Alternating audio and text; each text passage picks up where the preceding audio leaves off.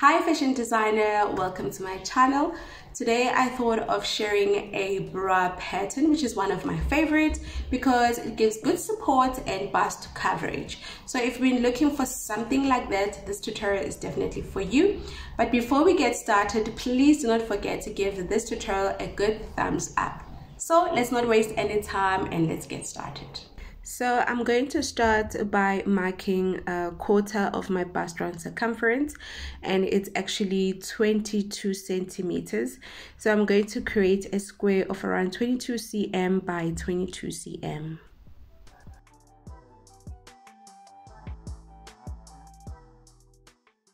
Then the next thing is to divide this square into four equal parts, which is going to be 11 and a half cm.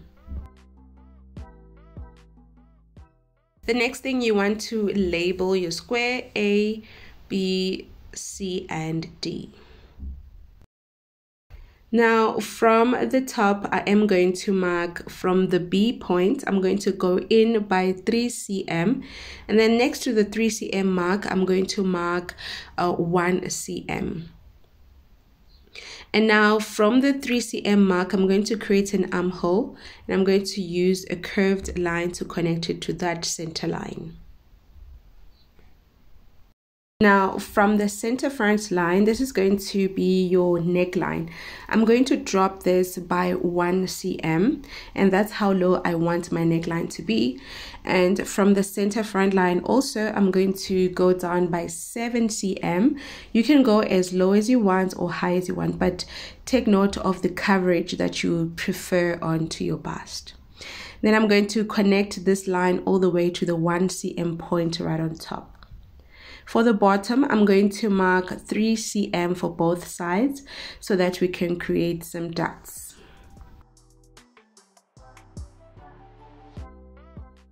Now, right on the front uh, line, I'm going to go down by 1 cm and then now create a dot by connecting these three points.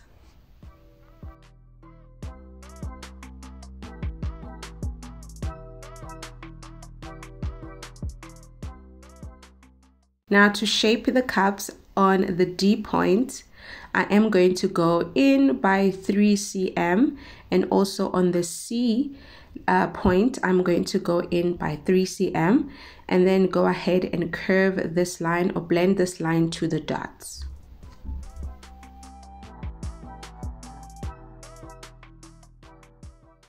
So once you're done creating your cup, it's time for us to create the cradle.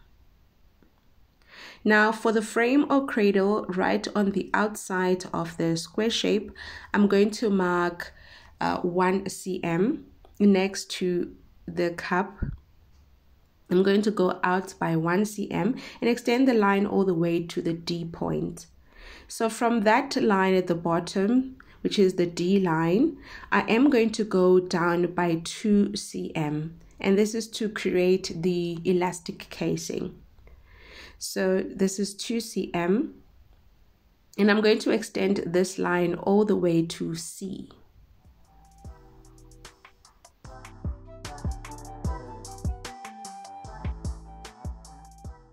Now, once you are done, don't forget to extend the dots to the cradle.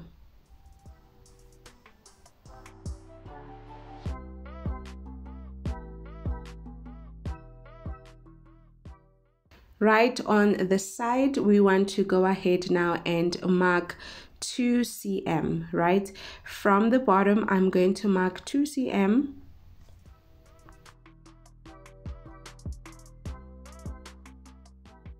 then I am going to extend this line by uh, 10.5 cm. Now this 10.5, it depends how wide you want your band to be, okay? It determines the width of the band. So I'm going to make it 10.5 cm. You can make it as high as 11. I think that's the that's how high it can go if you want it if you want your band to be wide or you can make it around 5 cm. But I'm going to make it 10 cm because I want my band to be wide. So from that point now, I'm going to blend this with the armhole. So guys, moving on to drafting the band. My band is going to be 18 centimeter long. So all band sizes differ based on the bust measurement. So I will post a link down in the description and it will show, it has a tutorial on how to calculate your band size. So if you want to know how to calculate band size, go ahead and check it out. So mine is 18 cm and now the width of my band I am going to make it around 5 cm and also this depends on your hook and eye and then once I'm done drafting the band I'm going to go ahead and blend it on the um, armhole now your pattern is complete. The only thing we need to do is to cut it out and add seam allowance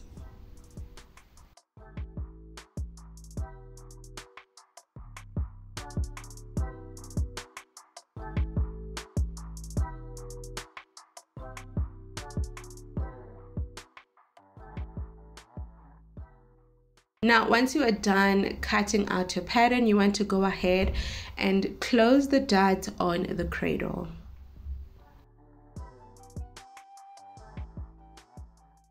Now, also on the cup, you want to go ahead and just cut out the dot.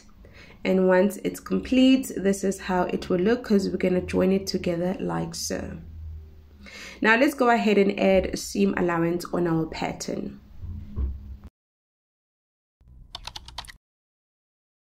Now, any seam allowance depends on the elastic you're going to be using. So on the neckline, if you're going to be using a picket elastic like this one, it is a must for you to add a 0.5 seam allowance because you will need to flip it in as you sew. Also around the armhole, you will need to add seam allowance because we're going to sew it the same way on like we did on the neckline. But if you're going to be using a fold over elastic like this one over here, you won't need to add seam allowance because it doesn't take much. You just have to fold it and sew it. And also on the band, you need to add seam allowance if you're using a picot elastic. As you can see, I've added seam allowance on the side to join it with the cradle and also around the cup I've added 0.5 seam allowance. But if you're using a fold over elastic, now there is a huge difference. So if you're using a fold over elastic, you will only need to add a seam allowance right on the side for the cradle and also for the band to join the two together. Then you will also need to add seam allowance right inside of the cup and also on the cradle to join the cup and the cradle together. Now, if so, if you want more support on your cups and you have a four-way stretch lace material, this is how you should cut your fabric. So you're going to cut one layer with a stretch going up and down and another layer with a stretch going sideways. Place them together like so and doing this it will give support on your cups because as you can see it actually provides support and stability. So you want to go ahead now, once you've placed your fabric like this, you want to go ahead and take your cup and place it on top of the fabric like so and cut out the cups. And you want to do the same thing also with the cradle. But for the band, make sure that the stretch goes around your body and cut out the band. So I went ahead and I cut the cups, including the cradle, on fabric. So stay tuned for part two where I'm going to share with you how to construct this bra together. I hope you enjoyed drafting this pattern as much as I did. As for me, see you on the next one.